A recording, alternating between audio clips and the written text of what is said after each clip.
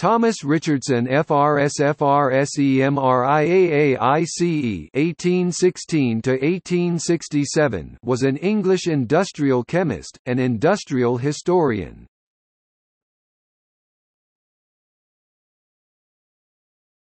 Topic: Life. Born on 8 October 1816 in Newcastle upon Tyne, he was educated there. Around 1830 he went to Glasgow University, to study chemistry under Professor Thomas Thomson. Richardson then went to the University of Gießen, where, under Professor Justus von Liebig, he carried out researches on the composition of coal and the use of lead chromate in organic analysis, gaining a doctorate Ph.D. He later went to Paris with Thomson, and completed his studies under Jules Pelouze.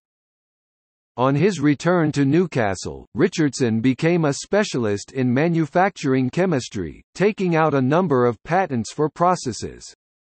In 1840 he began, at Blaydon, near Newcastle, to remove the impurities, consisting chiefly of antimony, from hard lead, and thus to convert it into soft lead, by means of a current of air driven over the molten metal, the impurities were oxidized, floated to the surface, and were then skimmed off. Practical improvements introduced into the process by George Burnett soon after led to the annual importation of several thousand tons of Spanish hard lead into the Tyne district, where it was purified. John Percy brought forward evidence that Richardson was not the inventor of this process, quoting a letter from James Leathart, and stating that a patent for it was granted to Walter Hall in 1814.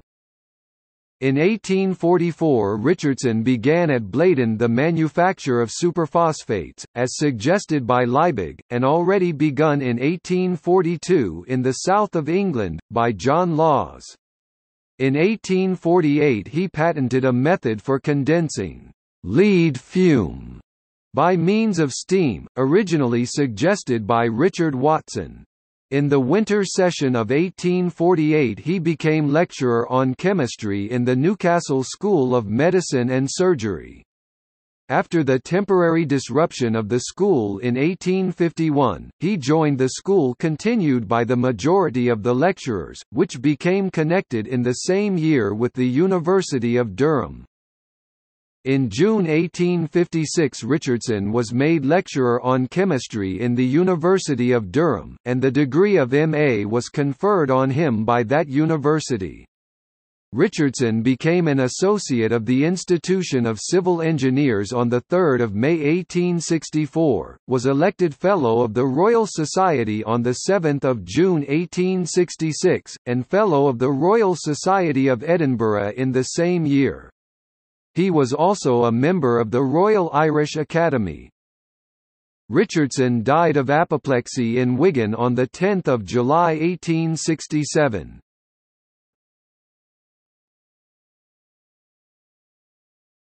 Topic: Works. With Pelouze he published, in 1838, a research on the action of water on cyanogen and the consequent formation of azulmic acid i.e. oligomers of hydrogen cyanide that are insoluble in water.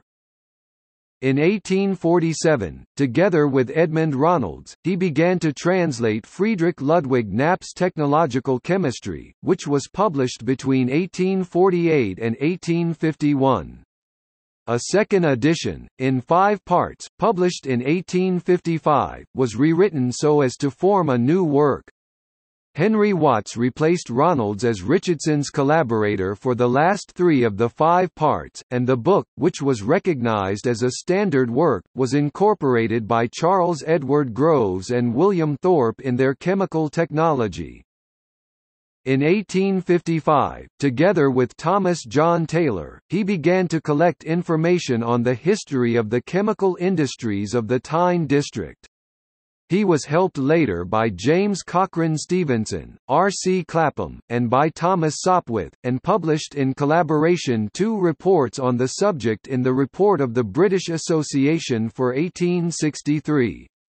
These were incorporated in a book on the industrial resources of, the Tyne, Wear, and Tees, edited by himself, William Armstrong, Isaac Lothian Bell, and John Taylor. Two editions appeared in 1864. He published, with Armstrong and James Longridge, three major reports dated 25 August 1857 and 16 January 1858 on the use of the steam coals of the Hartley district of Northumberland in steam boilers, addressed to the Steam Collieries Association of Newcastle on Tyne. The reports contain a record of a large and carefully conducted series of experiments. The conclusions were opposed to those of Sir Henry Thomas de la Beche and Lyon Playfair, on whose recommendation Welsh steam coal had been exclusively adopted by the Navy. Richardson's reports were republished in 1859, together with T. W. Miller and R. Taplin's report, on Hartley coal. About 1866 Richardson carried out, with Lavington E. Fletcher at Kirklees, near Wigan, a similar series of experiments, which were published in 1867 as experiments, on the steam coals of Lancashire and Cheshire. Richardson published 15 independent papers and six in collaboration with E. J. J. Browell a fellow lecturer at the Newcastle School of Medicine, and partner, John Lee, Pelouze, Sopwith, and Robert Dundas Thomson, on chemical questions.